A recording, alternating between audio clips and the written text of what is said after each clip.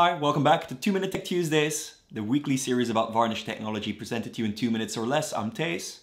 I'm the technical evangelist here at Varnish Software. And in this episode, we'll talk about basic authentication and how to use Varnish as an authentication gateway to handle that basic authentication. As always, I'll put 2 minutes on the timer and tell you all about it. You may know basic authentication from the following username and password prompt in your browser, but in fact it's the result of an unauthorized request that results in a response containing a 401 unauthorized status code and a www authenticate response header containing the basic keyword to indicate that the server requires basic authentication. A way to tackle this is by adding the authorization request header including the basic keyword and then the payload, where in fact the payload is nothing more than a base64 encoded string containing the username, a colon separator, and a password. And in this case, that's admin as the username secret as the password. While base64 encoding is not really that secure, as long as you use HTTPS to transmit the payload, you'll be fine.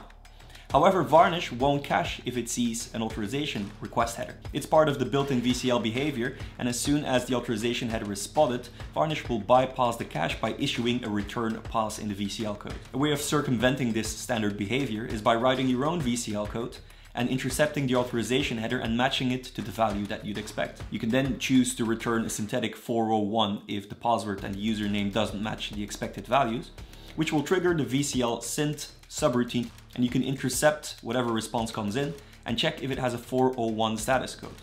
If it does, you can add www authenticate response header and use the basic keyword to initialize basic authentication.